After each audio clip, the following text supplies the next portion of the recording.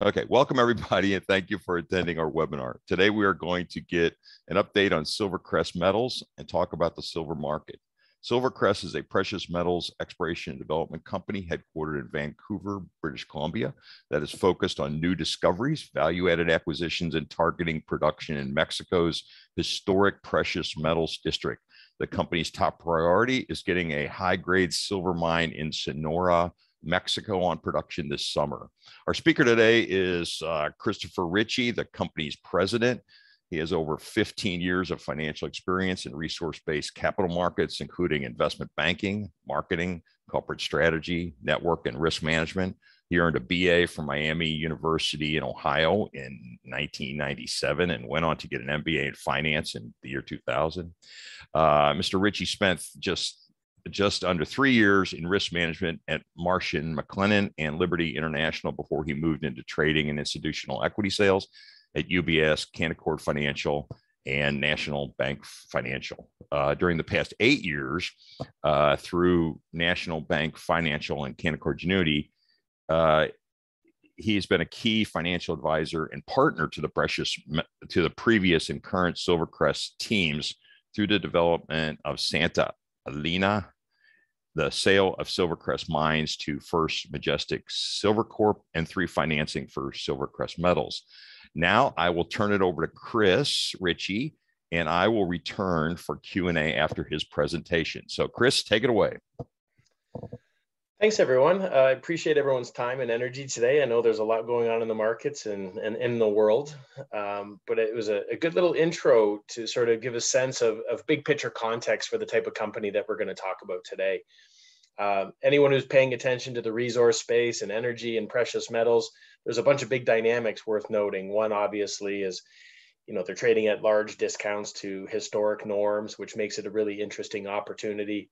There's a scarcity aspect of high quality projects these days, um, which we're definitely in that category. That's probably one of the biggest takeaways. We're one of the top two or three highest grade projects in the world, and high grade in mining typically corresponds to margins and margins typically correspond to resilience. And again, if there's one thing every company wants these days is the ability to be resilient in a really tough, challenging macro situation.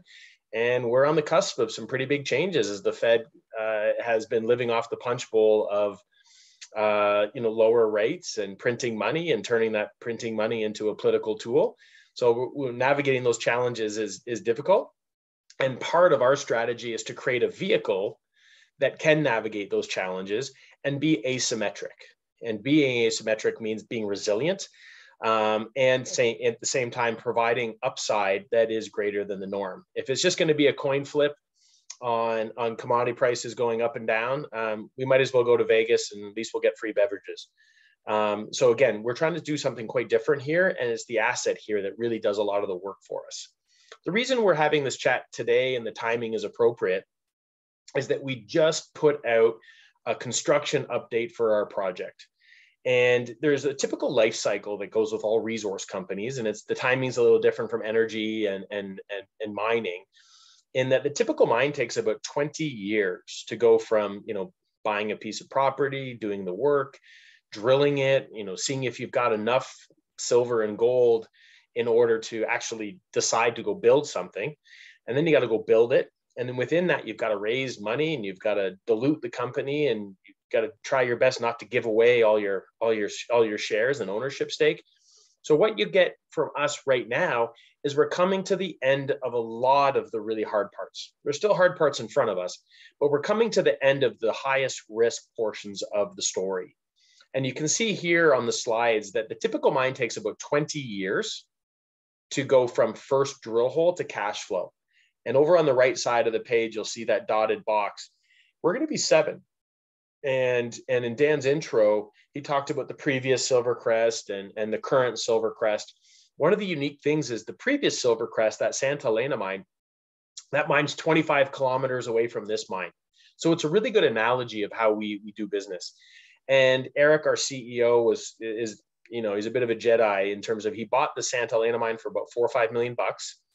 Um, did all the drilling. He's an engineer. He's a he's a geologist. Um, I was in the finance world helping them get the money, and they got it up and running. He built it on time, on budget.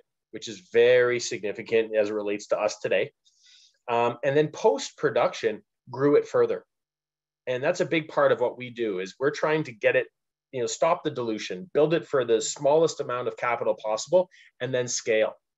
And that that's a big that's a big difference. A lot of other mines have different types of deposits where you you need to drill it forever and get economies of scale before the economics make sense.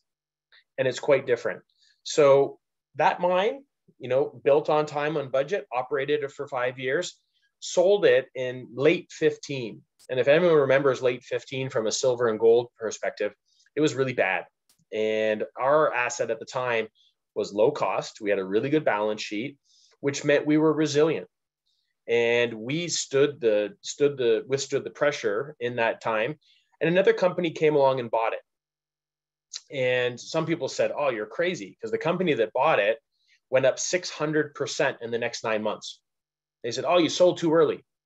Well part of our thinking was no they bought us with shares of their company and we ended up getting 23% of of that company in the transaction so our shareholders got to rotate into a, a highly levered company at the perfect time in the cycle, and they got to participate in that 600% move in the following nine months. So one of the biggest things that we can now only talk about, given that we're exiting construction shortly and, and exiting this high risk phase, is what kind of vehicle we have. So I think one of the things for that Lindsay to, to go back to where the balance sheet is, it's always a good starting point, especially in resource companies. People always want to know if you're going to raise more money and you're going to dilute and put pressure on the share price. So where we sit today, you'll see the cash balance. We have 177 million US of cash.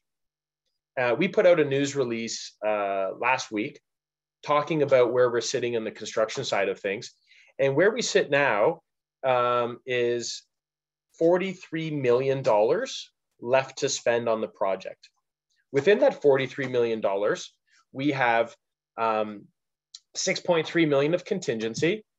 Um, we have uh, 9 million that is fixed price, meaning we have a third party building our mill. And if there's an overrun or problem on the scope that they're engaged in, they pay for it. Okay. So what I'm trying to get to here, there's about $30 million that we can screw up. There's $30 million of work that, that Silvercrest is responsible for. And if you do a 20 or 30% overrun on that 30 million, you get to six to nine million bucks. And what I'm trying to provide there is context that we do have 177 million. And so far, we're actually ahead of schedule. I mean, the, the schedule called for us to be 79% complete. We're 86. So, so far, so good. Um, our COO, he's he's also built the largest gold mine in Canada. And a little fun fact there, it's a totally different type of operation, but they move more material in, in one and a half days than we do in a year. So it's a much this is a much smaller operation. He's done this numerous times. Eric, our CEO, has done this numerous times. Um, so there's a high degree of confidence from our technical team. I get to do the easy work.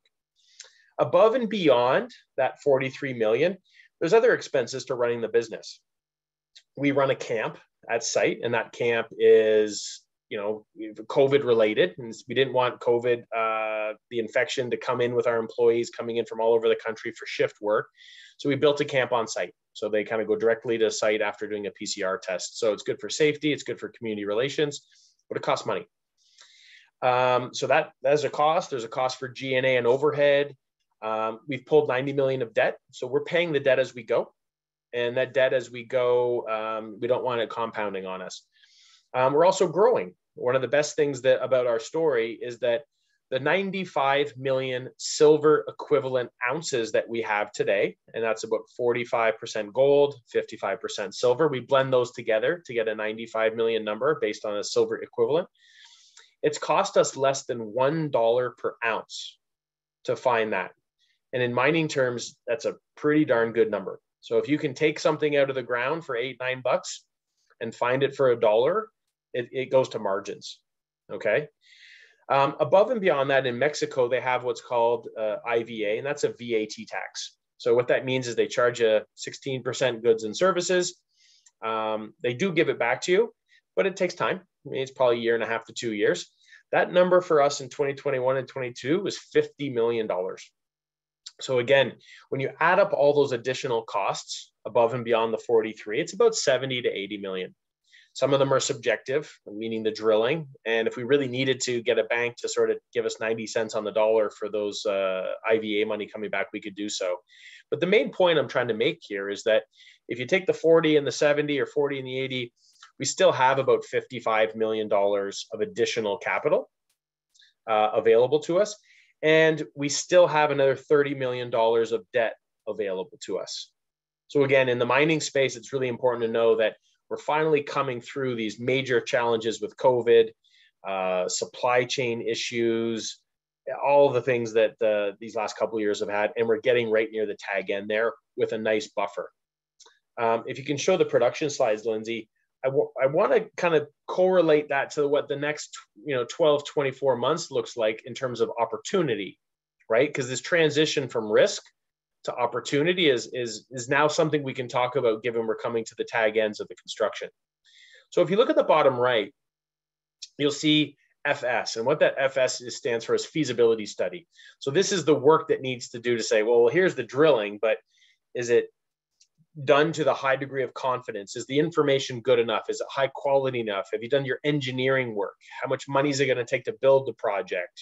You know, where are you going to mine your material from every year to come up with a plan? And that mine plan gets condensed into what you see on the screen here. And what you do is you can apply different prices to the plan and see what the economics are. And what you'll see in the, bottom there, you'll see numbers like IRR, and payback. And the IRR stands for the internal rate of return. And basically, what that is is what's your annual return based on your cost. So our, our IRR is, is over 50% per year, essentially. And below that, you'll see a payback period. And that payback period, depending on what price you want to use, is about a year at you know lower prices than today. So if we can pay back all of our capital within a year, and we're on time, on budget, you get a really strong sense that this is a highly economic project. Okay. To change that into a cash flow scenario, I mean, recall that we've got that 55 million, uh, hopefully in our back pocket. And we've also got that 50 million of tax that gets remitted to the government and comes back to us. That's in the other back pocket. Um, we also want to look at cash flows. And we think it's prudent to use $1,500 gold and $19 silver to illustrate the resilience of our project here. And then blue bar is what is what gets corresponded to those, those numbers in the chart on the left.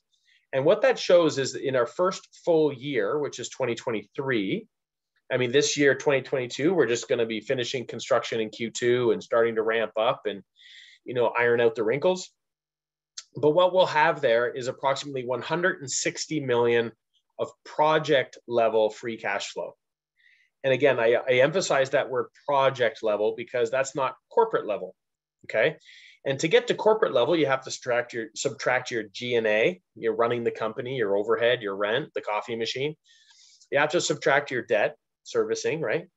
And any other costs that you want to do. So growth, if we want to spend money on drilling and whatnot, that that comes into that number we don't have exact numbers for 2023, but if you wanted to assume somewhere between 35 and 45 million dollars, um, that that would be reasonable as a as a starting point. So if you subtract 40ish million from the 160, you're left with you know 120 million dollars, hopefully in your other front pocket. So you've got the 55 in the one back pocket. You've got your 50 from your your tax coming back from the government at some point, and hopefully you know we can execute well and this you know 110 120 million in the front pocket all adds up to a, a pretty nice number as we transition from high risk to a sustainable stable cash flowing company right? And all of this again comes at what we believe or hope to be conservative prices.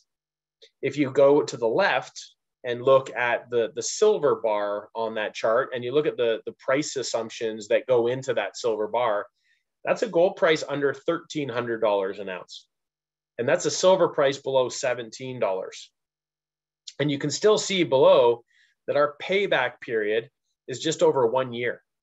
So, what this is telling you, this is a really low capital intensive project with really robust free cash flow numbers. Okay. And that, that silver bar on the chart shows that we still would have about 140 million of project level free cash flow. So again, subtract your other money, but we're probably not doing much drilling uh, at those prices, right? So as a as a free cash flow number, if you look at our market cap today, I'm not sure exactly where we are, but I think we're probably around 1.2 billion dollars. Um, you're close to a 10% free cash flow yield if we can execute and 2023 goes this way. Um, a really fun number is if you look at the one on the right side of the page and you see 1950 gold and, and silver over 27, a little bit higher today, but not not remotely out of uh, of reach. You see that that project level free cash flow is over 200 million. So one of the key things to kind of put at what what does a 8 to 12% free cash flow yield like look, look like compared to other things? Well, right now the federal government has a, a Fed fund rates of close to zero you know, putting money in a 10 year bond is less than 2%. And the big number that people need to, to, to get comfortable with is called real rates. And that real rate is what it does is it takes the rate of inflation and compares that to, you know, a 10 year government bond. And right now, with inflation running at 7, 8, 9, 10%, depending on what numbers you want to look at, that basically means you're losing purchasing power to the tune of seven, eight, nine percent. So if you get a bond bond giving you one and a half percent, you know, and inflation's running at seven and a half percent, you subtract the one and a half from seven and a half percent, you're losing six percent of your purchasing power per year holding your money in US dollars. I mean, Canadian pesos are even worse, but but globally, you're seeing money printing has become a political tool and something that's been done during COVID uh, as it means to, to support the economy. But it means we've pulled forward all sorts of demand. It means we eventually have to pay back this debt or monetize it. So what you get with gold and silver is a, a hedge against that inflation. You get protection and get against that reduction of purchasing power by holding your money in fiat. So if you can get a gold and silver company that has the potential to provide you with a really, really robust free cash flow yield, really, really strong resilience at lower commodity prices as well. Um, and at the same time, we have a fair bit of growth in front of us in terms of more veins to drill off, other properties to, to explore, hopefully all to come back and go into the facility that we're just getting to the tag ends of construction on, right? Once that ca- capital is sunk, any new tons and ounces we we hopefully will find, you know, drop to the bottom line uh, a lot quicker. So this is the first time we've been able to to really speak to what's next in the story because everyone's been so focused on um, the construction. And if you go to the previous slide, Lindsay, I want to talk about some of the risks and, and opportunities in the next, you know, 12, 24 months uh, that's quite unique to us. So in a mine, when you're building a mine, there's two major components or three. Well, one, you have to find the ounces. And again, we're one of the top two or three highest grade mines in the world. If you had a silver mine, and actually I'll jump around a little bit, Lindsay, maybe go to the slide with the, uh, the different silver assets on it. And, and this is probably a better starting point for people a little less familiar with the space. These are the top 12 mines in the world for silver. And ours is in the blue column there, sort of in the middle. The circles there show the grade. And what that means is it's 879 grams per ton. So in mining, every ton you dig up, you have to pay for. And the real economics come from how much gold and silver are you taking out of each ton. So again, that's where this grade typically corresponds to margins. So you can see here we're the second highest grade of in the world uh, of mines here. And again, so that means it's a scarce high grade asset if you have, you know, grade that's in the three, 400 gram a ton range, these are fantastic high grade projects. But we're with silver at $23, your costs are probably in the high teens. Okay. The average cost based on some of the analyst estimates are in the 16 to $20 per ounce range. So with silver at 23, there's not much margin. Our all in sustaining cost should be sub $9 an ounce. All right. So again, and coming back to that resilience point here. So to show where we are today, coming to the tag end of construction, we've got a very high grade project with a good mine life, with a lot of resilience and a lot of free cash flow. So again, maybe jump back to the other slide, Lindsay, to talk about the, the next set of risks and opportunities and things that we've done that are unique that are worth looking at as we kind of look at the next uh, year or two. There's three parts of the mine. You know, again, I just talked about the asset itself and the grade and the high quality there. The second part is the underground, which you have to build your tunnels and you have to make sure you've created enough infrastructure that every single day you can put the right amount of tons into the mill. The third part's the mill. You got to build that mill and make sure that that's ready to receive those tons, process those rocks, and kick out those nice, you know, bars that are part gold, part silver before you ship them off to the refinery. Um, and one of the things that was extremely unique we started our those underground tunnels and and to create that underground infrastructure three years ago.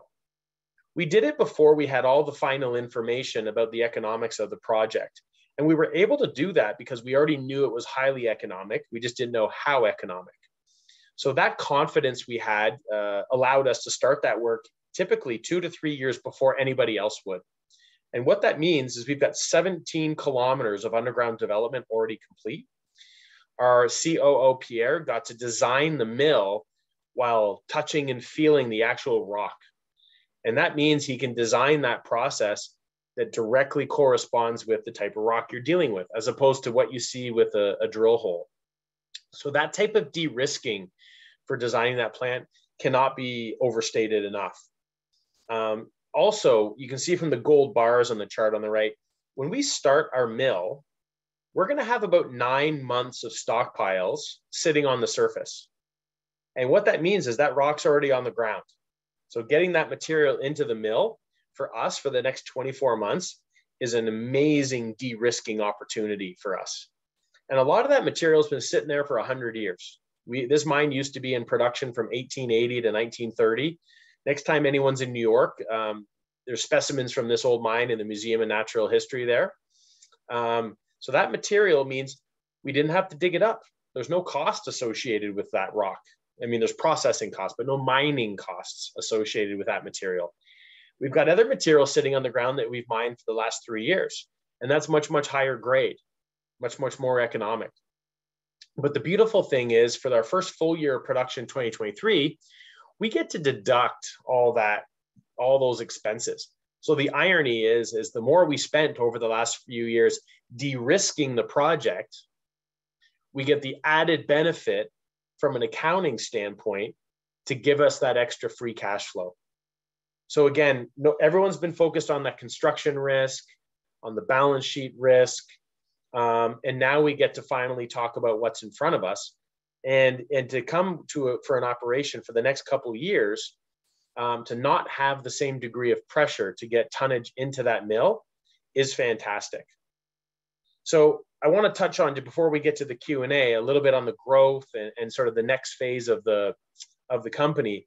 But again, to just one more time to look at that production profile on the next slide, Lindsay, is is to look at the next few years in front of us. So if you look at those blue bars, um, and, and you can look at that cumulative free cash flow over the first three years, that's a really nice stable platform to be looking at building a, a company.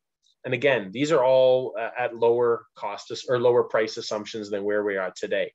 So I kind of say it tongue in cheek to go back to that asymmetric that if the market really gets ugly, um, the, the rest of the market, the broader market, the non commodities market, is trading at about two standard deviations above long term averages.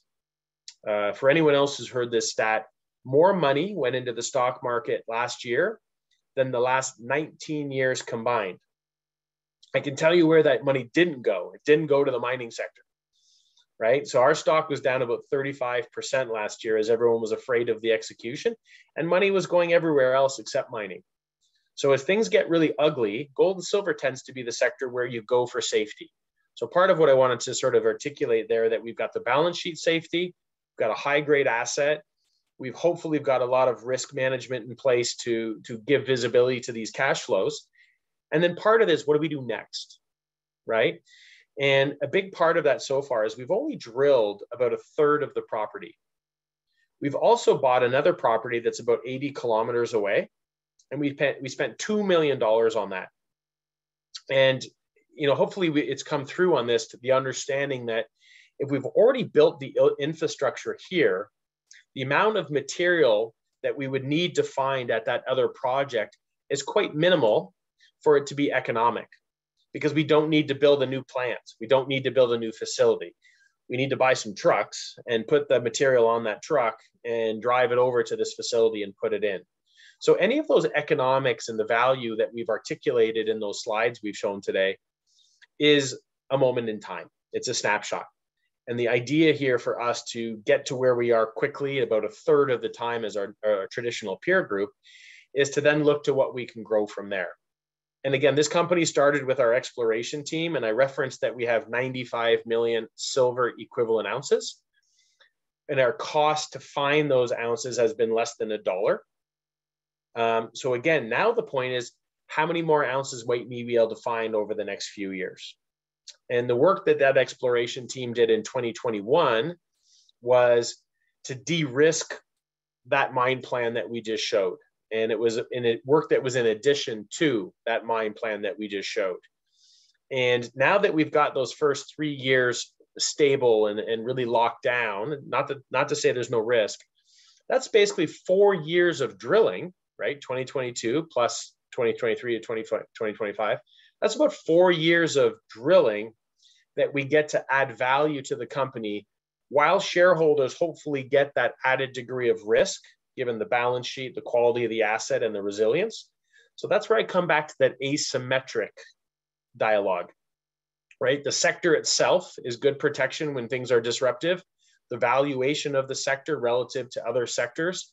Um, in Canada, it's the second worst performing sector uh, next to the cannabis space in 2021. So you've got this nice value base there.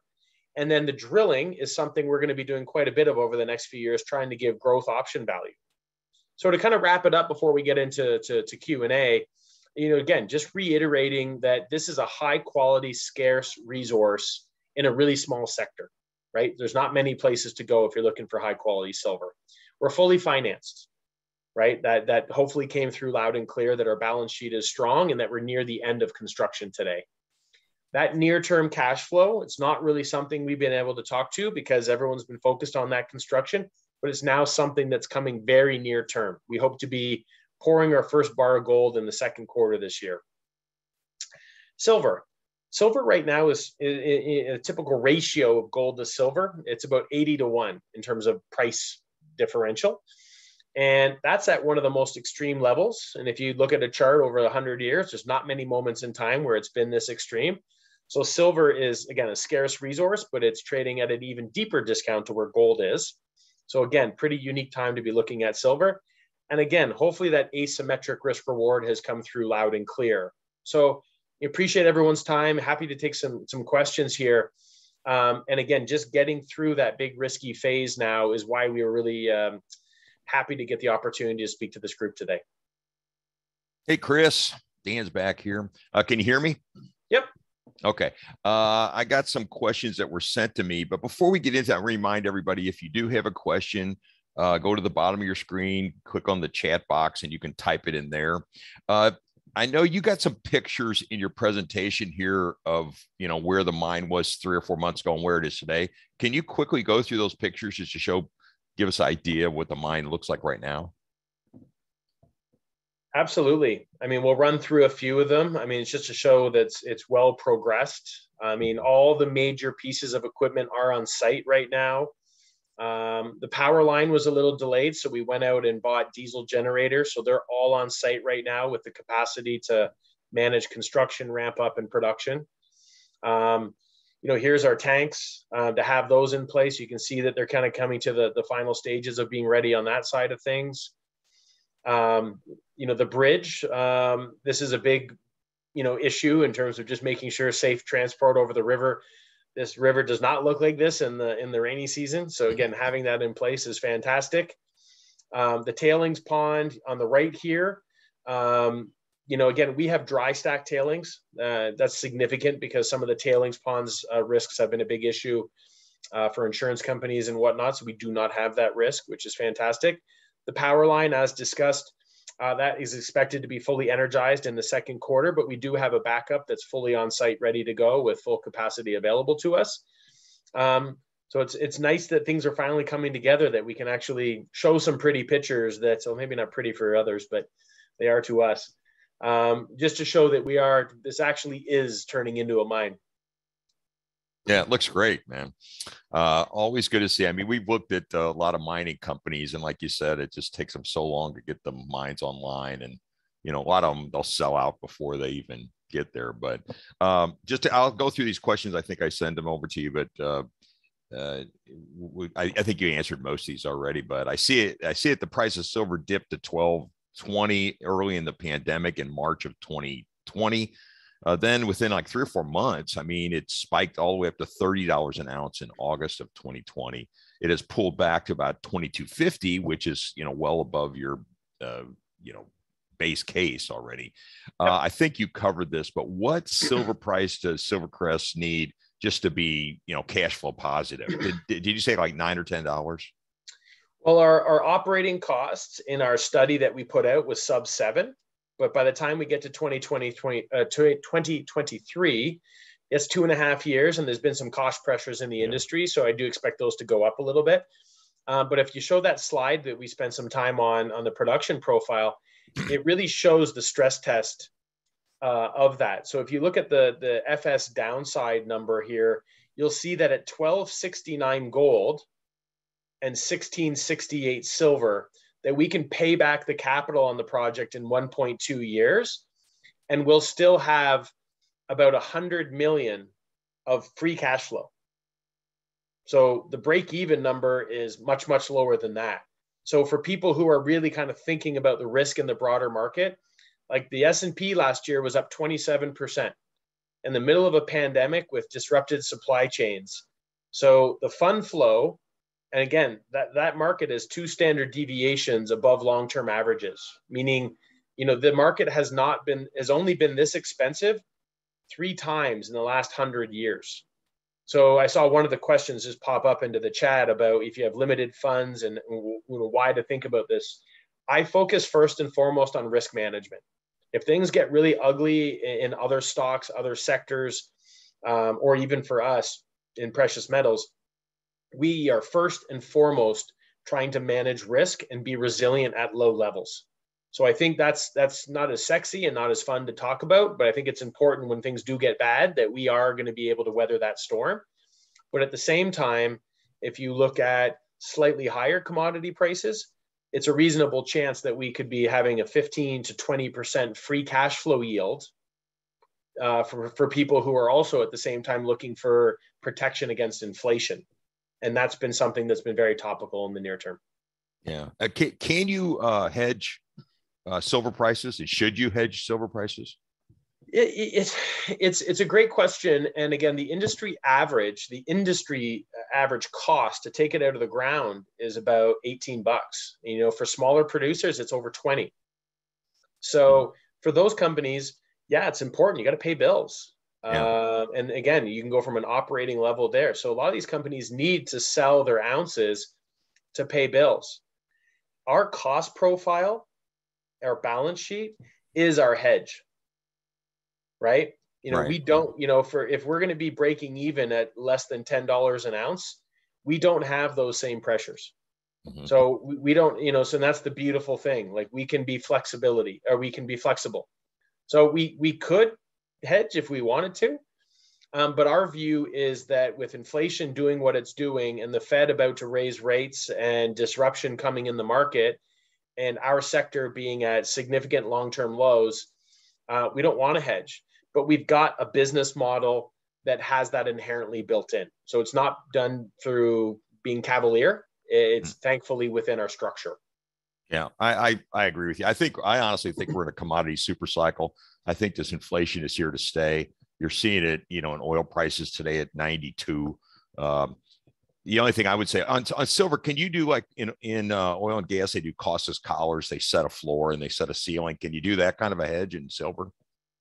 Sure, sure. Okay, but I think I think one of the other interesting things to note is when you look at these costs for the industry being you know 18 plus, and us being sub 10.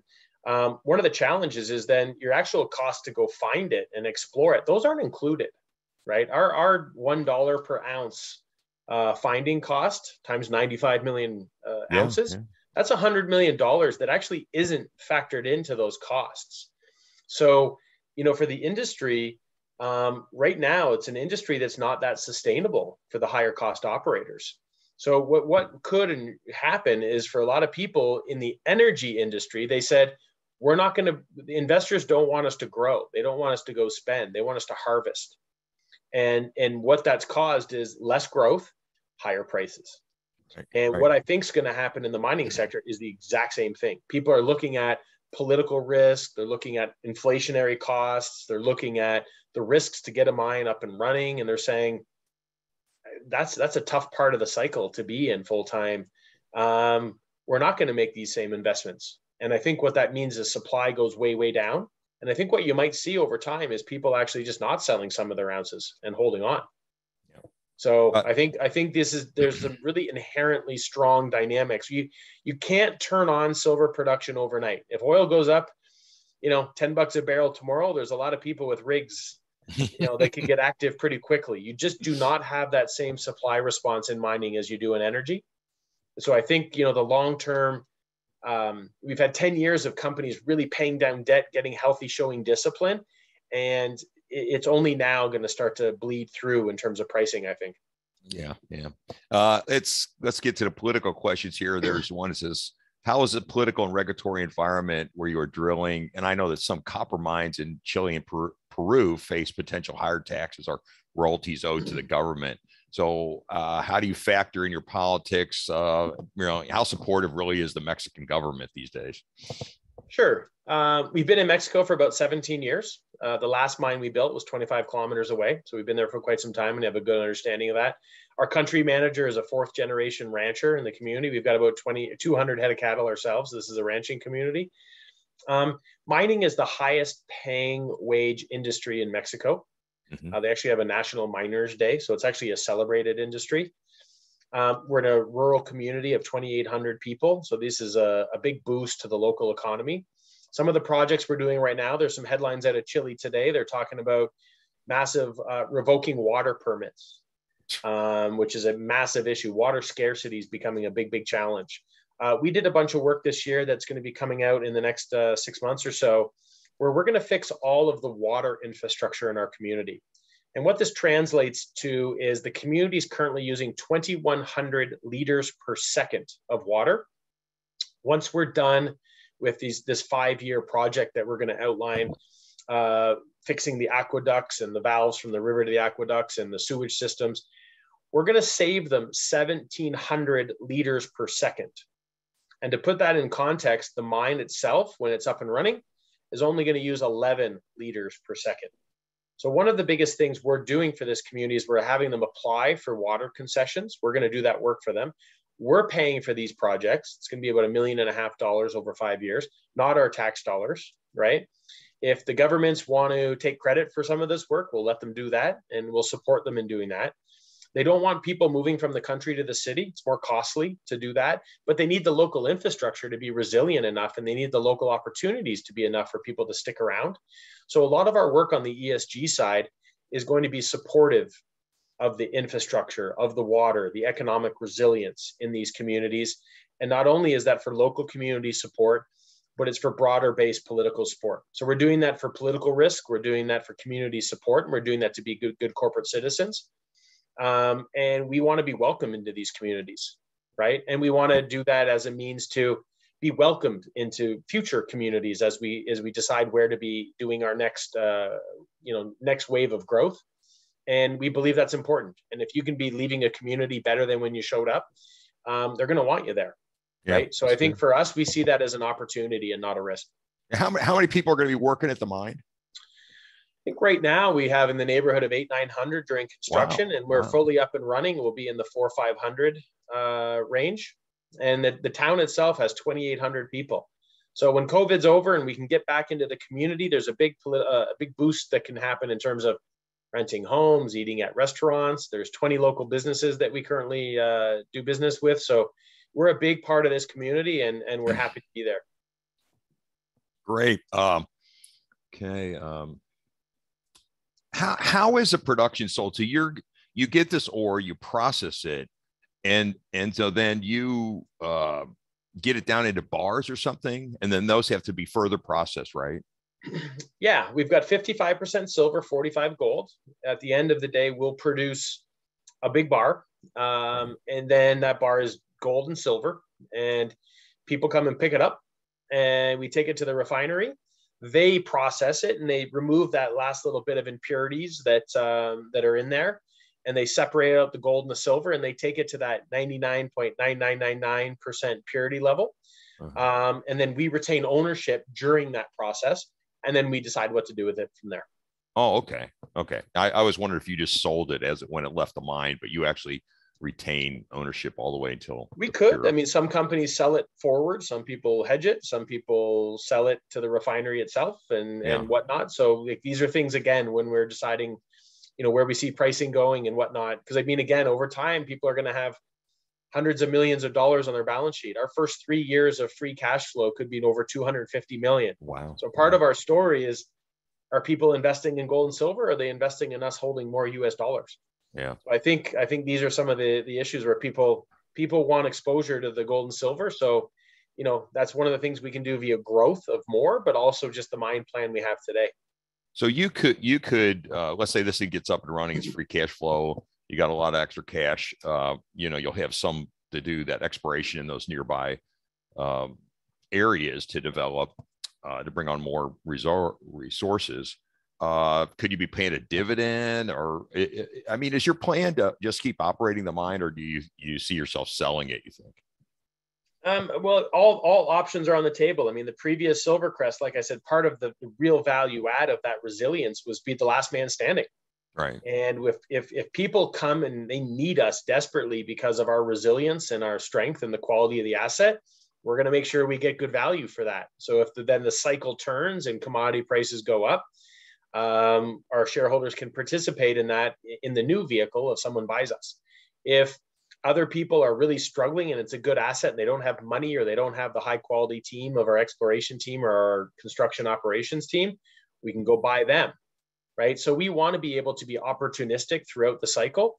And the main way we have the ability to do that is because we have an asset that can is highly profitable throughout cycles. If you're not profitable and you're, you don't have a good balance sheet and the and the market's on its knees, you're on the, on your knees with it. So yeah. you know you want it, you, you want to be able to be opportunistic at the right time. So that could be a dividend, that could be buying assets, that could be selling the company. Uh, but the beautiful things is is we want to be in the driver's seat. We think we can be with the quality of this asset. Yeah, every everything's for sale at the right price, right? Yeah. I was yep. I worked I worked for Hess, which we had big operations sure. in, in Canada for a while. I was actually in our New York office when somebody walked in and asked to speak to John Hess, the CEO, and he made an offer for everything we had in Canada that was about 50% higher than what we thought it was worth it took us about two hours to say sold, write up the papers. I think so. so. We, we, sold all of Canada for three hundred million dollars. I remember. Anyway, so you got a couple of your uh, shareholders that have written comments here. I ought to read them so that the people can hear. Sure. But it says, "I've been following this project company for a couple years. Exceptional project uh, purchase of the diesel generators to assure electricity uh, power supply was an important step to de-risk the operation so you can you know actually get the mine open in a few months uh, dealing with the CFE what's the yep. CFE that's the that's the mexican regular or the power uh oh, power company so okay okay yeah, it's, I, it's their it's their power line we pay for it and basically give it back to them but i mean we we need to make sure we get the power and we don't need to work on their timelines so that's yeah. why we kind of stepped into to mitigate that risk. And the, the full full kudos to uh, to Pierre and the operations team for that decision. Yeah, when we lost power here about a year ago for yeah. three or four days in Texas, I, I can tell you one uh, the uh, home generator business went through the roof. anyway, another ours. guy, yeah, another guy said, I just wanted to say that I have been an investor in SilverCrest stock since 2018, and I'm very happy with the decision to buy the stock. That's good. Uh, then we got one more question. It says, are there any other satellite deposits like what's Pica- El Picacho. El Picacho that you are looking at, and it these are my questions. You know, what's the yep. what's the real exploration upside? I guess in that area, and you're looking like within a what a 50 or 100 mile radius of the of the mill. It just depends on the economics. Like it, it all comes down to economics per ton, and you know the cost to trucking those those tons is, is part of that economic decision. If it's 200 kilometers away, but the, the ore is amazing and, and there's math to do, right? Mm-hmm. Um, so you know, El Picacho, it's it's a two million dollar decision. I mean, like you know, and, and, the idea being again, if there's no infrastructure to build, um, we just have to find enough critical mass there to make the fixed costs associated with digging it up uh, sense. And it's still very very early days, and we're not at that critical mass by any extent right now. That's just a strategy, right? So again, part of that rush to get uh, into production early was to give us that view, and part of us spending 2021 to sort of lock down those first few years of cash flow is to give us that time. So will we look at all sorts of other satellite deposits? Absolutely. And that's where we're back to square one in terms of the drilling. About 80% of the drilling in the last year was last three years was infill drilling, building the confidence around the mine plan to get the cash flow. Now we get to have fun and go back to looking at the other veins, not only at Las Chispas, at Picacho, but looking at other properties in the neighborhood and something at a 50 kilometers away for a new entrant to come to that community their threshold for success is it has to be big enough to build a plant. It has to be built big enough to have profitability above and beyond that additional capital required. So the competitive advantage we have at looking at any of these process properties is massive because our threshold's so much lower. Mm-hmm. so as you again go back to the risk reward of a company like this that risk on the front end to take a $5 million purchase to turn it into a mine, let alone a world class mine, then building it and getting to the finish line in, in, in, a really tough market like we have and to have excess capital. Um, now to get to that point of how do we leverage that infrastructure? How do we leverage that balance sheet? How do we take advantage of our uh, of our low cost structure and be more resilient? These are all the sort of go forward opportunities that we're finally getting a chance to breathe and, and spend time on after all the hard work of, of getting us to where we are today. Well, this, I know this is an exciting time for you guys because I've been involved in oil and gas business for a long time, and we had some, you know, offshore projects that took years, you know, from discovery to get them online took years, and we were so excited, you know, to have that come on for us. So, um, my, one last question for me. This just shows how ignorant I am of the metals market. But uh, other than jewelry and people putting, you know, silver coins in their de- uh, deposit box, uh, what's the industrial demand for silver? Sure. So about 60% of silver is consumed on an annual basis. Uh, and the market's really small. It's about a billion ounces a year. So if you do your math, you know, $23 an ounce times 400 million ounces. It's a really tiny market. So I, mm-hmm. I make that point as it relates to if there is incremental interest in the in the sector from an investment standpoint, inflation, whatnot. Uh, it doesn't take much capital to really move it. Um, the other 60% uh, part of it, a, a big chunk of it's conductivity and photovoltaic. So it's a big component in solar panels.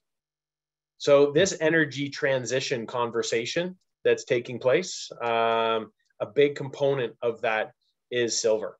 So it is part of the green energy transition that people are talking about. Uh, and again, conductivity, that's a big part of it. And, uh, another aspect is antimicrobial. so infection and, and, things like that. So it's it's a really important uh, metal. Um, and again, the supply side is is not growing. So it, it's something where, yeah, a lot of it's consumed. And if you think about it from a monetary standpoint, I mean, it was kind of thinking of it as like a, you know, you got your hundred dollar bills and then you got your one dollar bill. Silver was the one dollar bill sort of thing. It was like a lower denominated form of currency here. So um, it's it's consumed heavily, and again because there's been a lack of investment for the last decade, the supply and demand itself is going to be quite interesting in the next uh, you know while to come.